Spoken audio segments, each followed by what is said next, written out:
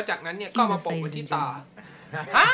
โน้เป็นไงกันบ้างครับ ในช่วงไม่กี่วันที่ผ่านมาเนี่ยมีหลาย ๆ คนนะครับที่ส่งข้อความมาถามผมว่า พี่ครับพี่พอมีวิธีกำจัดขอบตาดำไหมครับ พี่ครับจะทำยังไงให้ขอบตาดำมันหายไปครับ แล้วก่อนที่เราจะไปดูกันเนี่ยก็อย่าลืมเลื่อนลงไปกดไลค์คลิปนี้ให้ผมหน่อยแล้วกันนะครับโอเค คือการที่ขอบตาคุณดำเนี่ย มันสามารถเกิดจากได้ด้วยหลายสาเหตุนะครับไม่ว่าจะด้วยสาเหตุที่มันน่าเบื่อมากๆ อย่างเช่น การนอนหลับพักผ่อนไม่เพียงพอ ที่ทุกๆ คนพยายามบอกคุณ แต่มันก็คือเรื่องจริงการที่ดื่มน้ำไม่เพียงพอเนี่ยก็เป็นอีกสาเหตุหนึ่งเลยนะครับที่เป็นเรื่องใหญ่ แล้วก็เป็นปัญหาที่เกิดขึ้นบ่อยมากๆ รวมไปถึงไดเอทของคุณ คุณอาจจะกินอาหารที่มันไม่มีประโยชน์ ขาดวิตามิน A ขาดวิตามิน C ขาดวิตามิน K ขาดธาตุเหล็กขาดอะไรพวกนี้เนี่ย มันก็เป็นสาเหตุหนึ่งที่ทำให้เกิดขึ้นได้ หรืออาจจะเป็นการขาดการดูแล หรือแม้กระทั่งการที่ดูแลมากเกินไป หรือว่าการดูแลแบบผิดๆ หรืออาจจะเป็นปัญหาจากแสงแดด รวมไปถึงอาการแพ้ คุณอาจจะแพ้อาหาร แพ้เกสรดอกไม้ เพราะเมื่อเวลาที่คุณแพ้อะไรก็แล้วแต่เนี่ย มันก็จะทำให้ตาของคุณคันและพอเมื่อคุณไปขยี้ตาเรื่อยๆเนี่ยส่วนช่วงถุงใต้ตาเนี่ยมันเป็นส่วนที่เบาบางมากๆ และพอเมื่อคุณถูไปเรื่อยๆถูไปเรื่อยๆเนี่ยมันก็จะเกิดการเสียดสี และมันก็จะทำให้ขอบตาตรงนั้นเนี่ยดำและรวมไปถึงสาเหตุที่เกิดขึ้นตามธรรมชาติ เช่นแบบยีนหรือว่ากรรมพันธุ์ ถ้าเกิดว่าพ่อแม่คุณเป็นคนที่มีขอบตาดำปู่ย่าตายายของคุณเป็นคนที่มีขอบตาดำเนี่ยมันก็จะมีโอกาสสูงที่คุณจะเป็น ที่ผมบอกสาเหตุของมันไปเนี่ยเพราะว่าผมอยากให้คุณรู้ว่าที่คุณเป็นเนี่ยเพราะอะไรคุณจะได้ไปแก้ไขให้มันตรงจุด พอไม่อย่างนั้นแล้วเนี่ยผมอาจจะบอกวิธีรักษาอย่างหนึ่งไป แต่คุณเป็นเพราะสาเหตุนี้มันอาจจะไม่ได้ผลก็ได้สิ่งที่ผมบอกไป เพราะฉะนั้นการที่รู้ปัญหารู้สาเหตุของมันเนี่ยก็เป็นเรื่องสำคัญนะครับในการที่จะเริ่มดูแลอะไรสักอย่างหนึ่งไม่ว่าจะเป็นขอบตาคุณหรือว่าร่างกายของคุณหรืออะไรก็แล้วแต่โอเคโอเค ก็อย่างแรกเลยนะครับ คือมันเป็นเรื่องที่น่าเบื่อที่สุด คือพวกคุณคงเคยได้ยินมาแบบเป็นร้อยเลยครั้ง หรือว่าอาจจะมีคนพูดกับคุณว่า เฮ้ย วันนี้ดูเหนื่อยๆนะ พักผ่อนไม่เพียงพอหรือเปล่า หรือว่าเฮ้ยวันนี้ทำไมดูโทมๆจังทำไมขอบตาดำจังพักผ่อนไม่เพียงพอเหรือเมื่อคืน หรือเมื่อคืนคุณอาจจะเพิ่งไปปาร์ตี้ฮาโลวีนมาถึงตีสี่ตีห้า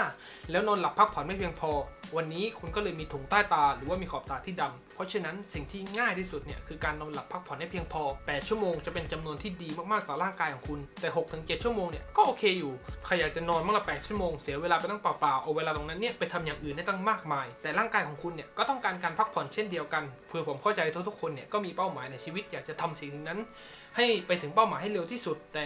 ร่างกายของคุณเนี่ยเป็นสิ่งสำคัญ เพราะไม่อย่างนั้นแล้วเนี่ยคุณไม่มีทางที่จะไปถึงจุดๆนั้นได้ ถ้าเกิดว่าร่างกายของคุณเนี่ยไปไม่ไหวจริง ๆ เออ แล้วผมลืมบอกไป เวลานอนเนี่ยพยายามเลือกหมอนที่มันหนาๆหรือว่าสูงสูงๆหรือถ้าเกิดว่าคุณมีหมอนบางเนี่ยก็เอามาซ้อนกัน2ใบก็ได้นะครับคือแบบบางคนบอกว่าเฮ้ย ทำไมผมต้องนอนหมอนสูงขนาดนั้น คือผมไม่รู้สิผมคิดว่ามันยิ่งสูงมันยิ่งสบายอะคือผมไม่เข้าใจเหมือนกันว่าทำไมบางคนเนี่ยชอบนอนหมอนบาง ชอบนอนหมอนต่ำถ้าเกิดว่าเป็นไปได้เนี่ย ผมจะนอนหมอนที่มันซ้อนกัน2ใบเพราะผมคิดว่ามันรู้สึกแบบสบายกว่า มันรู้สึกแบบเออมันมันได้นอนอะแล้วพวกคุณล่ะ ชอบนอนหมอนแบบไหนกันคอมเมนต์บอกผมข้างล่างแล้วกันนะครับเหตุผลที่ผมพูดเรื่องหมอนขึ้นมาเนี่ย No! God, please, no! No! No! เพราะว่าหมอนเนี่ยก็เป็นอีกสาเหตุหนึ่งนะครับ การที่คุณนอนหมอนต่ำเนี่ยเวลาที่คุณนอนเนี่ยเลือดมันก็จะไหลเวียน แล้วเวลาที่คุณนอนหมอนต่ำเนี่ยมันก็จะมีโอกาสสูงที่มันจะไปค้างอยู่ช่วงถุงใต้ตา แล้วอย่างที่คุณรู้ช่วงตรงนี้เนี่ยมันจะเป็นเนื้อที่บางมากๆ แล้วเลือดเนี่ยพอเมื่อมองผ่านเนื้อเนี่ยมันอาจจะเป็นสีน้ำเงินน้ำเงินเข้มๆสีแบบออกเข้มๆหน่อย เพราะฉะนั้นถ้าเกิดว่าคุณนอนหมอนที่มันสูงขึ้นหน่อยเนี่ยมันก็จะทำให้เลือดเนี่ยไหลเวียนได้ดีขึ้น มันจะไม่ไปตกค้างอยู่ที่ตรงนั้น แล้วมันก็จะไม่ทำให้ขอบตาคุณเนี่ยดูดำเข้าใจ สาเหตุที่ 2 ที่ผมบอกไปก็คือการขาดน้ำถ้าเกิดว่าคุณรู้ตัวว่าคุณเป็นคนที่แบบกินน้ำน้อยมากๆเนี่ยก็พยายามกินให้มันเยอะขึ้น คือปกติแล้วเนี่ยเขาจะบอกว่าประมาณ 10-12ถึง12แก้วต่อวัน ซึ่งแก้วของแต่ละคนก็ไม่เท่ากัน ผมแนะนำเลยนะครับว่าต่อวันหนึ่งเนี่ย กินน้ำสัก 3-4 ลิตร และโดยเฉพาะอย่างยิ่งถ้าเกิดว่าคุณเป็นคนที่ออกกำลังกายหนักๆ ออกกำลังกายมากๆ เนี่ย มันก็เป็นสาเหตุหนึ่งที่ทำให้คุณเหนื่อยล้า และถ้าเกิดว่าคุณยิ่งกินน้ำน้อยเข้าไปอีกเนี่ย มันก็อาจจะโชว์ให้เห็นในหลายๆ วิธี และหนึ่งในนั้นเนี่ย ก็อาจจะเป็นขอบตาของคุณได้ เพราะฉะนั้นก็กินน้ำให้มันเยอะขึ้นนะครับ ซึ่งมีใครในนี้ที่ไม่ชอบกินน้ำบ้างล่ะคอมเมนต์บอกผมนะครับ ถ้าเกิดว่าคุณไม่ชอบกินน้ำโอเค อย่างต่อไปนะครับก็คือการดูแล สมมุติถ้าเกิดว่าคุณเป็นอยู่แล้วเนี่ยต้องทำยังไงบ้างล่ะ ถ้าเกิดวันไหนผมรู้สึกว่าผมทำงานหนัก รู้สึกว่าได้พักผ่อนน้อย รู้สึกว่าขอบตาเริ่มดำเนี่ย ผมก็จะดูแล โดยวิธีการดูแลเนี่ย ก็อาจจะเป็นเรื่องที่คุณเห็นบ่อยๆ ในทีวี ในโทรทัศน์ ในโฆษณาอะไรก็แล้วแต่ คุณอาจจะหั่นแตงกวาหรือว่ามะเขือเทศเนี่ยมาปิดตาของคุณไว้ ซึ่งที่มันได้ผลเนี่ยเพราะว่าแตงกวาเนี่ยส่วนผสมทั้งหมดของแตงกวาเนี่ยแทบจะเป็นน้ำประมาณแบบ 96%แล้วแหละพอเมื่อคุณเอาไปปิดเนี่ยมันก็จะทำให้รอบตาคุณเนี่ยสดชื่นขึ้น ดูดเอาความร้อนดูดพวกสารพิษดูดอะไรออกไป แต่ผมก็เข้าใจนะครับ ถ้าเกิดว่าคุณไม่ใช่ผู้หญิงเนี่ยคุณอาจจะไม่ได้มีแตงกวาหรือว่ามะเขือเทศอยู่ในตู้เย็น เพราะฉะนั้นสิ่งที่คุณทำได้เนี่ยก็คือการที่คุณเอาช้อนเนี่ยไปแช่ไว้ในช่องฟรีซให้มันเย็น แล้วจากนั้นเนี่ยก็มาโปะไว้ที่ตา คุณอาจจะโปะเอาไว้สัก 15 นาที แล้วก็ เปิดคลิปผมอีกสักคลิปหนึ่งแล้วก็ฟังเอาไว้ ช้อนเนี่ยก็เป็นอีกทางเลือกหนึ่งนะครับ ถ้าเกิดคุณอาจจะไม่อยากออกไปหาซื้อแตงกวาหรือว่ามะเขือเทศ หรืออีกทางเลือกก็คือพวกมาร์กใต้ตาอะไรแบบนี้เนี่ย คือคุณสามารถหาซื้อได้ทั่วไปในเซเว่นก็มี ผมจำไม่ได้ว่าอันละเท่าไหร่แต่ว่ามันไม่กี่บาทหรอก แล้วก็ผมแนะนำเลยเอาไปแช่ตู้เย็นให้มันเย็นก่อน แล้วมันจะช่วยทำให้คุณเนี่ยผ่อนคลายมากขึ้นสบายมากขึ้น หรือคุณอาจจะเลือกใช้เป็นมาร์กหน้าก็ได้ อาจจะเป็นของแม่ของแฟนของน้องของใครก็แล้วแต่ที่มีอยู่ในบ้านเนี่ยแรกๆคุณอาจจะรู้สึกแปลกๆ แต่เมื่อคุณใช้ไปสักพักหนึ่งแล้วเนี่ยผมรับรองเลยนะครับว่าคุณจะติดใจแล้วก็จะไปซื้อมาใช้เองทำมาทิตย์ละครั้งสองครั้งก็โอเคแล้ว และอีกสิ่งหนึ่งเลยนะครับที่ผมใช้แล้วก็เห็นผลได้ดีมากเนี่ยคือพวกไอครีมทั้งหลาย ตัวที่ผมใช้อยู่ปัจจุบันเนี่ยเป็นของเคลแต่ว่ามันเป็นตัวทดลองที่เขาแถมมาให้ตอนที่ผมซื้อเอ่อมอยเจอไรเซอร์แต่ผมมั่นใจว่าถ้าเกิดตัวนี้หมดแล้วเนี่ยผมก็คงจะไปซื้อหลอดใหญ่มาใช้ เพราะว่ามันใช้ได้ดีมากๆ คือปัจจุบันแล้วเนี่ยมันมีทางเลือกมากมาย แล้วก็หาซื้อได้ง่ายมากๆ แล้วก็หลายคุณภาพหลายราคามากๆ แล้วแต่ว่าคุณชอบแบบไหนแล้วก็มีงบประมาณเท่าไหร่ ก็ลองค้นหาข้อมูลดูว่าตัวไหนเนี่ยจะเข้ากับผิวของคุณบ้าง แต่ถ้าเกิดว่าคุณขี้เกียจเนี่ยเดี๋ยวผมจะทิ้งลิงก์ตัวที่ผมชอบไว้ข้างล่างนะครับไม่มีใครจ่ายตังค์ให้ผมพูด แต่ว่าเดี๋ยวผมจะทิ้งตัวที่ผมใช้อยู่ แล้วก็ตัวที่ผมคิดว่าดี แล้วก็ชอบเนี่ยจะทิ้งลิงก์ไว้ข้างล่างก็ลองไปดูกันได้นะครับอีกตัวหนึ่งที่ได้ผลที่ผมเคยพูดไปแล้วก็คือ Himalaya นะครับตัวนี้เนี่ยก็จะมีราคาที่ถูกลงมานะครับผมเคยพูดไปในคลิป skincare ที่ผมใช้แล้ว ก็ถ้าเกิดว่าใครยังไม่ได้ดูเนี่ยก็กดไปดูกันได้นะครับหลังจากจบคลิปนี้โอเค แล้วทำไมต้องใช้ eye cream ด้วยล่ะใช้แค่มอยเจอไรเซอร์ไม่ได้หรอ หลายๆคนเนี่ยใช้แค่มอยเจอไรเซอร์แต่สิ่งที่คุณไม่รู้เนี่ยคือ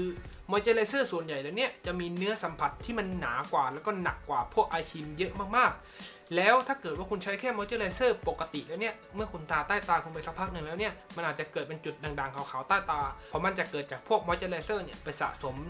พวกไขมันทั้งหลายไปสะสม เพราะฉะนั้นถ้าเกิดว่าคุณอยากจะดูแลผิวหน้าคุณไปอีกยกระดับไปอีกระดับหนึงเนี่ยผมแนะนำให้หาซื้อ eye cream ดีๆ สักตัวหนึ่งที่เข้ากับผิวหน้าคุณ แล้วก็เทคนิคที่ผมใช้เนี่ยก็คือการที่คุณบีบลงใช้นิ้วอะไรเนี่ยเขาเรียกนิ้วนิ้วอะไรวะนิ้วนิ้วนางเนี่ยใช้แค่แบบแม่งเยอะแล้วก็แตะ แตะนะครับอย่าถูเพราะว่าถ้าเกิดถูเนี่ยมันอาจจะรุนแรงเกินไป